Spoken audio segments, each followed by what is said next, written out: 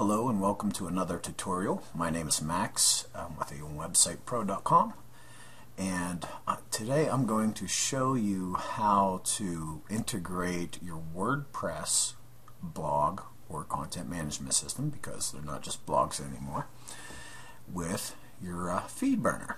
And so that's what we're going to do and that's what we're going to talk about. Uh, number one, if, if you have a WordPress content ma management system, at the top of you, your URL, you just simply put in feed.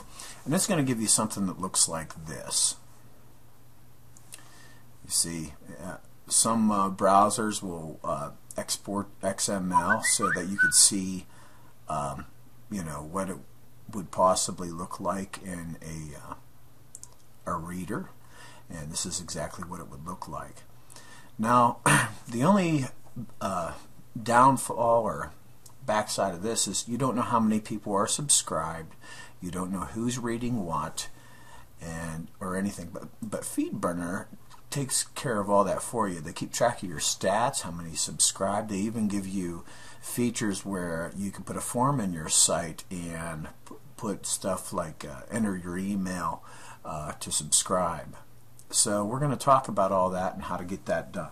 And we're going to use my friend Jerry Kyle's website, healthyoldgoat.com. And if you would like to check out his site and live to a long, healthy, happy life, feel free to do so. And we'll get started right now. Okay, so step number one, we already know that WordPress has our feed already set up. So the next step we want to do is we want to go to FeedBurner. So just type in FeedBurner and then hit enter in any Google search engine. And you want to look for this URL, feedburner.google.com, and then go ahead and click on that. Here you will have to sign in, so I'm going to pause the video and sign in. And now that I'm signed in, I come to a page that looks like this. And so this is my FeedBurner page uh, where we can claim our feeds now or burn a feed right this instant. And that's what we're going to do. We're going to go to our website, Healthy Old Goat, make sure that we have the proper URL, forward slash feed, and we're just going to grab this entire URL, click copy, and we're going to paste it right in there. Okay? Now, if you're a podcaster, you want to click that, but we're not podcasting. This is just a regular feed. We're going to click next. And here we're going to give it the feed a title and Healthy Old Goat. We're satisfied with that. And the feed address is Healthy Old Goat, just one long word. And we're satisfied with that. So we're going to go ahead and click Next. Now we get a congratulations. Your feed burner is now live. Want to dress it up a little. And this URL right here, that is the address to our feed burner. So I'm going to copy that to my clipboard because I'm going to need it later. So uh, we see here that FeedBurner has applied the following services. Browser friendly, improves your uh, feed's performance in most web browsers. And then we have stats. So it's going to track our stats for us. And we're going to go ahead and click the next button. And we want to track click-throughs, uh, item enclosure, downloads. We don't worry about that because it's for podcast. And you can put, click on I want more. Uh, feed stats can also track individual uh, item views and also it'll show you how many uh, people your feed is reaching so we want that go ahead and click next and we see that we have successfully updated the feed on Healthy Old Goat okay so the next thing we do is we're going to go install this uh, FeedBurner plugin on our Healthy Old Goat so I'm going to just log into our uh, WordPress login.php and I am going to pause the video and log into my WordPress dashboard. Now that I'm logged into my WordPress dashboard, I'm going to go down here to plugins and select add new and I'm going to paste in here FeedBurner FeedSmith Extended. So we want that plugin, so we're going to search it and we're going to click install now Yes, we're ready to install the plugin and then we want to activate it. And then we're going to come down here to settings and jump down here where it says FeedBurner FeedSmith Extended. Okay. Now right here where it says main feed, remember that uh, URL that I told you to copy somewhere? Well, just in case uh, you didn't put, put it anywhere, if you go up here to ed edit feed details, you can see that this is your feed burner right here. This is the address. Feeds, feedburner.com, and then healthy old goat at the end of it. So take this URL and we'll paste it where it says main feed here and we know that it's healthy old goat. Let's see if this is the right one. Healthy old goat. And that's the name of our feed. just to check it, just to make sure, we're going to go ahead and check it once. We'll go ahead and paste, copy and paste, and we see that that's the feed. And what we'll do is scroll down here to the bottom and select Save. Okay. Okay, now let's go visit the site. And we'll have my control button down and click visit site. It brings up another tab for me. And what I want to do is I want to go up and put that same URL we put in earlier feed. And I want to make sure that it redirects to my feed burner. And let's see if it does that. And it does. So we see that feeds.feedburner.com healthy old goat and here's my feed. Okay so now we have our uh, feed burner set up and we could go in and configure some things. And what we will do is we'll go to back to my feeds and we'll click on healthy old goat and we see that the feed is so new we're still playing with the bubble wrap little thing so but what we want to do is we want to go into optimize and we already see that uh, it's already browser friendly there's SmartCast for SmartCast for podcasting in iTunes. Now we want to click Smart Feed. There's a couple things that I like to activate. I want my feed to reach the widest possible audience. Now FeedFlare, that's something that whenever people subscribe to your feed, they're going to have the option to share this feed with their friends. So what we want to do is we want to check all these. Eh, if you don't want to check them, that's fine. But we're going to check them all so that they have the option to share it with any of these social network platforms. And then we're going to click Activate. Okay? Now you can take a look at these other ones if you like later, but for the sake of time we're going to move on to the Publicize tab. And we're going to click on Headline Animator.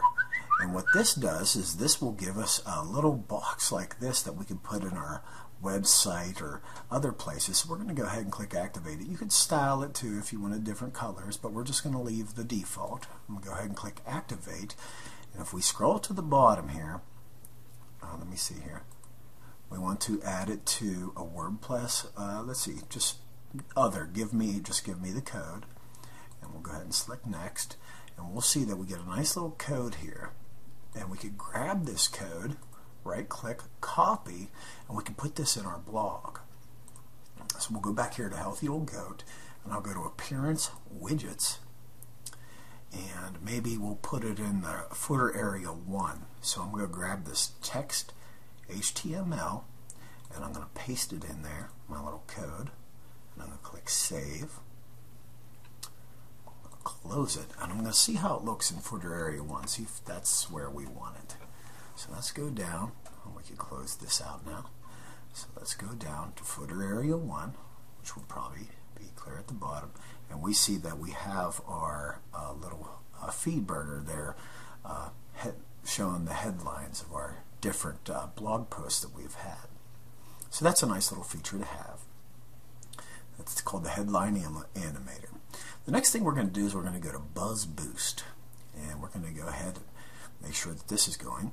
So the description is have a feed, will travel, Buzz Boost replenishes your uh, burned feeds content to go anywhere HTML. Want to promote your blog on another site that you manage? Buzz Boost gives you a snippet of JavaScript you can paste in the web pages.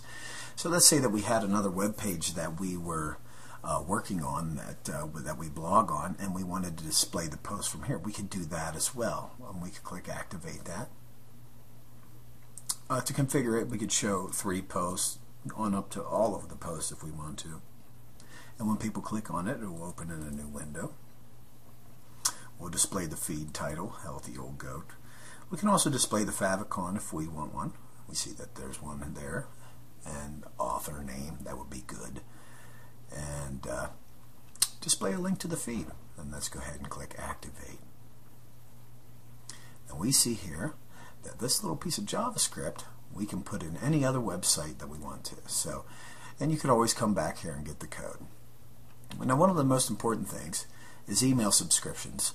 You want people to be able to subscribe by email, and FeedBurner will deliver it to them. So we're going to go ahead and click Activate it, and we're going to grab this form here. Okay. Grab, make sure you copy it all, click Copy. And we're going to go back to our website under widgets. And you know what? We should put this maybe right under search. So I'm going to grab another text in the main sidebar and I'm going to paste it in there and click Save. And we'll go back to our website, healthyoldgoat.com, and we'll refresh the page to make sure that our subscription is in there for people to subscribe. And yes, it is. And I'll go ahead and subscribe to Jerry's feed. Max at a1websitepro.com. And this is what will happen. I'll click subscribe, and then I'll have to verify that I want to. Uh, I can't type and talk at the same time. To complete my subscription request, I have a CAPTCHA code. And so they'll send me an email, and then I'll have to confirm that. And you'll probably hear my phone go whistle here in a minute.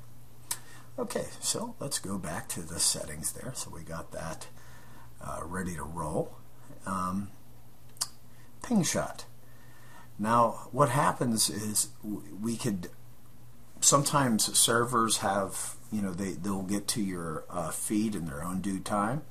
Uh, if you want them to uh, get there a little sooner, you will click activate on this and whenever you make a post now and it goes to your feed burner, it will ping them other search engines to give them a ping shot.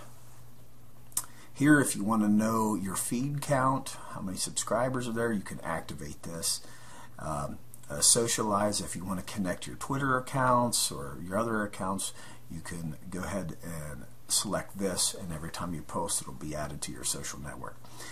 You could go ahead and uh, Read the rest of these yourself. Uh, they're pretty much self-explanatory. If you have any uh, trouble with your feed, you can always uh, select Troubleshootize, and uh, it, they will assist you in uh, debugging your feed troubles. Okay, this is Max with A1 Website Pro. I hope this has been a uh, informative tutorial for you. If you have any questions, don't hesitate to contact me at my website, a1websitepro.com. Be glad to help you out. Thanks and have a good day.